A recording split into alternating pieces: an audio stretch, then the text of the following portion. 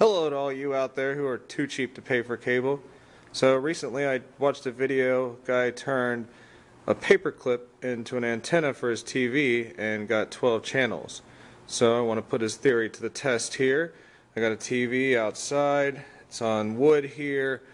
I am surrounded by some steel beams and such, so that is really going to hinder, but I wanted to try it anyway and make a shorter version of the video that I saw earlier. So let me show you how to unfold this thing. Alright, just a standard paper clip here. So from what I saw, you'll undo this, undo this, make it sort of straightish here, and then turn the last part at a 90 degree angle. And you're just going to shove this little guy in the back. Alright, so here we have our antenna cable in. Don't force it in there, but it should go in pretty easily.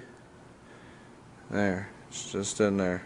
Don't want to angle it or, you know, do whatever you need to do.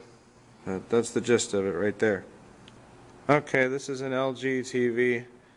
I've already hit settings right here. I'm just going to toggle over to channel, hit OK. Auto tuning. Yes. So let's see if it finds anything. We will revisit this in a moment. Alright, looks like we're 9% through. It's already found 20 channels here. Uh, no gimmicks going on here. Just got one little wire going to the power and my paperclip antenna here. And we're picking up something. Let's see what our paperclip picked up here. That took a while, not gonna lie. Alrighty, looks like we've got 5 1, 5 2, 9 2, 9 3, 14 maybe. Uh, it's always says it gets 14 and it never does. 19, so we've got some network television here, all with the aid of a paperclip. Granted, I am outside. It is cloudy though.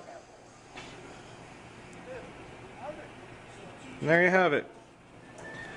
Hopes this uh, helps somebody get some free television somewhere. One more shot of this. me I'm sassy. You are serious? Thanks again, guys.